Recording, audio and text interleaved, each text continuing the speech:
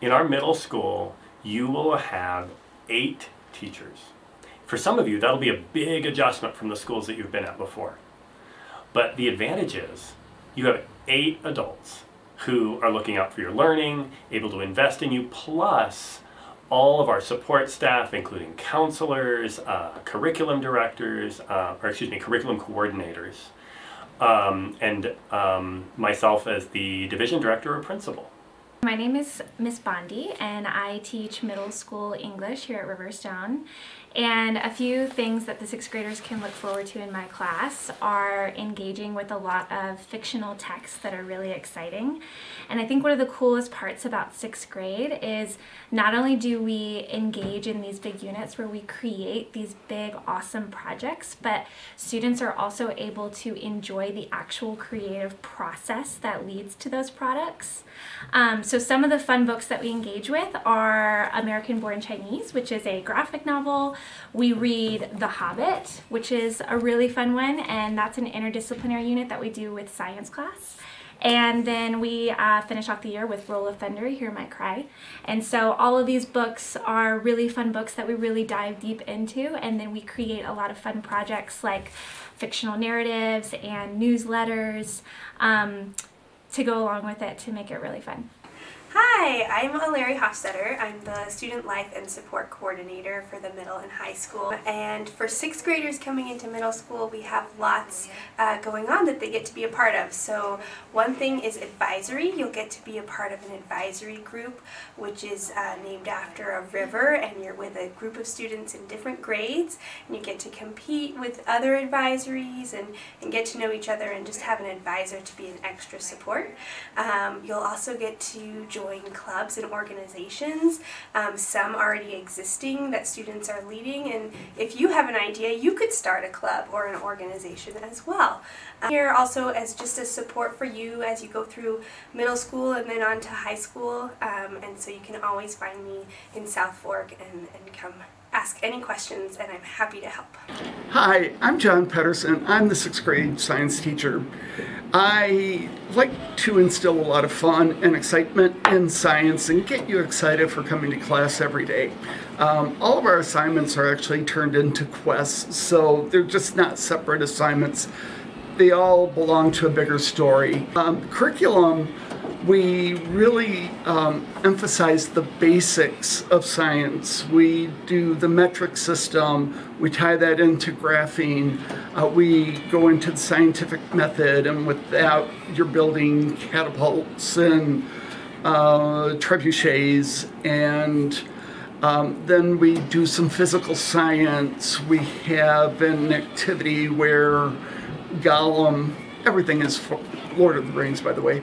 Um, Gollum is sitting on a well and he falls into a PVC pipe, and with the materials available, you have to devise something in order to get him out of the well that is wind powered. Students will build a, like a three foot tower that looks like um, Barad-dûr from Lord of the Rings, the one with the eye, the Sauron eye. And we have a marble run, and you have to be able to get the marble from the top to the bottom in five seconds or less. And that is will be the end, and then whoever does it the fastest will actually basically win the game if they have enough points. Um, so uh, there's a lot of other things interspersed throughout the year to get you excited about science and to show you that everybody can succeed and do really well in science. Hi, my name is Sydney Bergen and I teach sixth grade design. Um, design is a really fun class. Uh, it teaches you a new way to think about solving problems. There are four main ways that we do that. Uh, we solve problems by inquiring and analyzing, developing ideas, creating a solution, and then evaluating um, what we had just planned out and produced. Design class, we do a lot of different projects and it encompasses a lot of different things. anything can be a design project, and we use the design will and the design thinking to do this.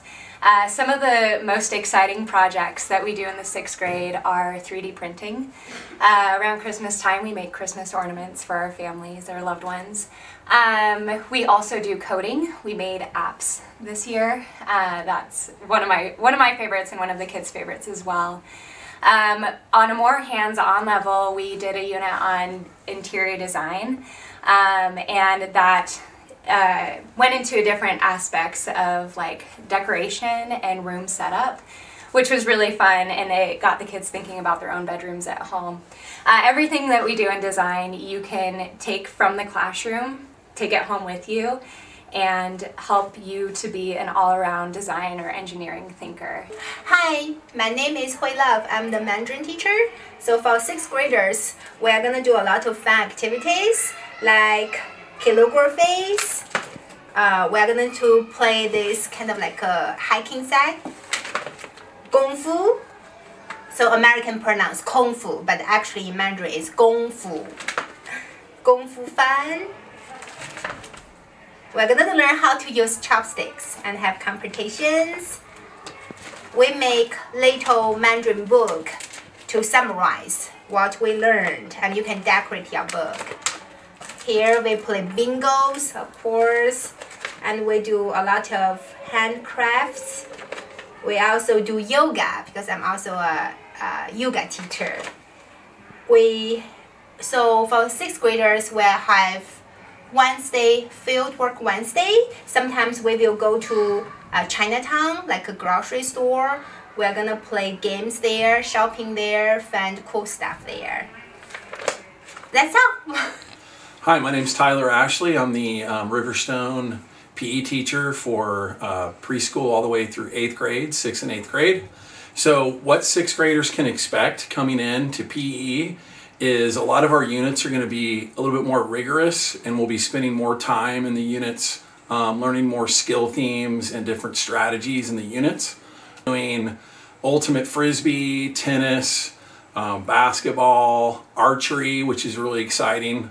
Um, we'll be doing badminton, and then at the end of the year, we'll do a um, superstars event, which is where we compete. Um, all the different grades compete against each other, uh, sixth through tenth grade, which is kind of a fun um, communal thing that we like to do. Throughout all the units, we do.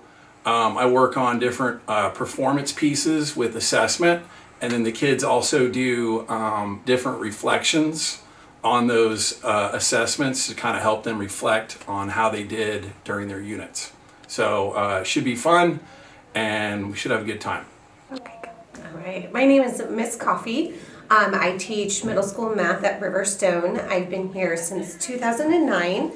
And what you can expect as a sixth grader in math is a lot more than just test taking. So we do, we look at all of your skills um, in math. So we look at how can you communicate in mathematics. So what is your road roadmap from seeing the answer or seeing the question to getting your answer? It's also a lot of collaboration. So you'll be up at the board presenting your answers, working in groups, working on activities and warm up problems for the day. Uh, in addition, I like to press students conceptually. So not just here's a test. I like to also look at students. How can you look at your use your prior knowledge and math to then also investigate a pattern. So come up with a rule or a formula in math all by using your prior knowledge and looking at different patterns. Another thing we also do is also look at how can you use your prior knowledge and what you've seen in the classroom to also apply to real life situation. So we take all of those and incorporate all those different math skills uh, daily in the classroom.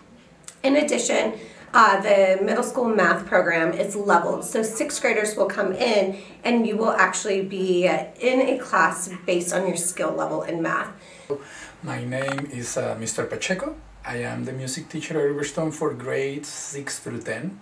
In sixth grade, we have four main activities that we do. And one of them is learning about theory and harmony. The other one is uh, spending time understanding the keyboard, keyboard theory, composition, and performance. The fun activities that my students enjoy and they are looking forward to do is to use this theory and harmony to create original works. Um, when they learn to create these original works, they do it in their computers with some specific notation software. And they are happy always to use their creativity and develop it and then push play and be able to hear it and share it with their family. Uh, another aspect that is important and it's fun is the performance part. Uh, here the students learn how to uh, develop their collaboration skills through instrumental ensembles and we focus on learning music from different cultures. In this case, in sixth grade, they learn music from the south of Mexico and music from North India and classical tradition. Um, what makes the performance fun is the availability or the ability for a student to explore different instruments. They could go from electric bass to guitar to ukulele to keyboard or singing or hand percussion and they have the whole semester to explore and at some point some of them decide to choose one and stick with that one for the rest of uh, the, the music uh, program. Hi, incoming sixth graders. My name is Miss Katz, and I'm going to be your humanities teacher. Um, what to expect, a little bit what to expect in our sixth grade humanities class is we're going to have a lot of fun. We're going to build on skills that you guys have, some of the skills you've learned in sixth grade or fifth grade, and we're going to build to um, new skills. So one example of that is we kind of take these more factual questions that you guys have been working with in elementary school, and we start moving towards the conceptual, debatable questions. Um, our first unit that we um, start introducing that in is our biome unit because everyone loves animals, right, and being outside. So we look at um, different um, biomes, we look at case studies within that. Um, we talk about Argentina and the Congo, um, so, some places in Europe, and you guys then get to decide what you want to study about and create your own project. And within that, um, we incorporate some math skills, like we look at um, raw data for climate um, throughout the last um, 100 years, and you create your own climate graphs. Um, and you'll be able to discuss and talk about that.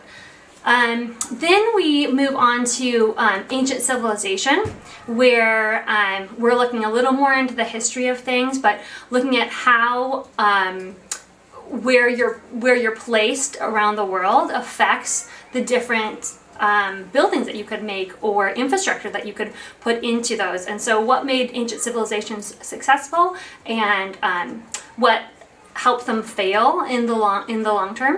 Um, and you're going to be able to become an expert about that on um, the ancient civilization that you get to choose.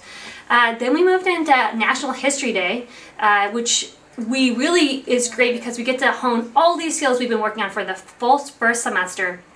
Um, and I help support you guys um, in creating your NHD project.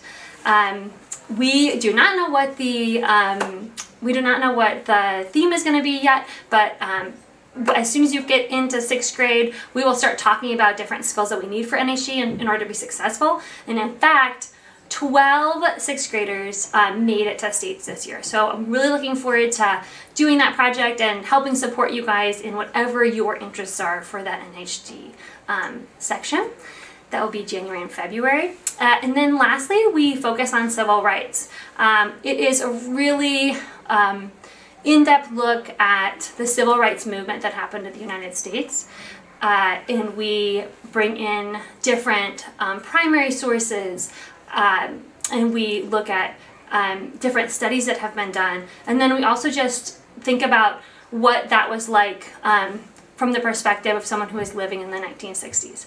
Um, so that those are our four main um, units that we cover. And then the other thing that I'm really excited about for next year is we're going to do a lived curriculum with um, conversing back and forth with a school in Madagascar. I'm actually heading to Madagascar um, for the month of June and um, pairing with a school there. So we're going to be actually sending um, videos back and forth, and you're going to have um, students that you can talk to over there to understand um, more of well, you know worldwide perspective of, of a student that's your age going through you know the same thing with family and but just living in a different country and different culture. Um, I really look forward to seeing you guys next year and feel free to stop by anytime to ask me any questions.